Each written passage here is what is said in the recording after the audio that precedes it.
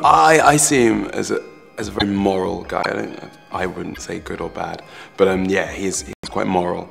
Um, and sometimes, yeah, sometimes it goes against him. That can, can kind of backfire, I think. But yeah, he's very serious, very moral, sometimes moody. But yeah, maybe he's a good guy. He's a good guy, yeah. Last year, my personal slogan was to say that we we had everything but more of it. And I think this year you'll see a twist on on all of the characters. Some people soften, some people harden. Um, I think my character, in, in a sense, Curtis, unravels slightly. He's it was so cool to his detriment. He was very, very cool. I'm almost quite stoic, and he kind of loses that. So it's a twist this year, I think.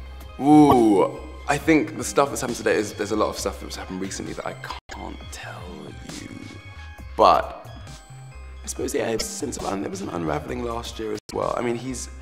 I think with this, what's going on this year is that he's gone in completely different direction. So it's been a lot, a lot different to play, a lot of fun to kind of explore the same person going through something in the exact opposite of what they, what they want really. Um, so that sense of unraveling is just. I mean, I used to think of it like wool.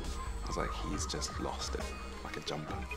At the beginning, we often sit down with the writer and the director of that block and, and talk about um, the scripts and what and you know where we're going in the arc and so on, and just asking questions and things back and forth. And Howard's always been very open to the fact that he's older than us, and so therefore we, we may have other things to bring. I think this year he began to write for us as, as actors and as people. So um, actually he began that last year, to be honest with you.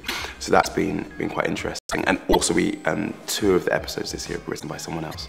So we've fed in about our characters because we've played them for three years.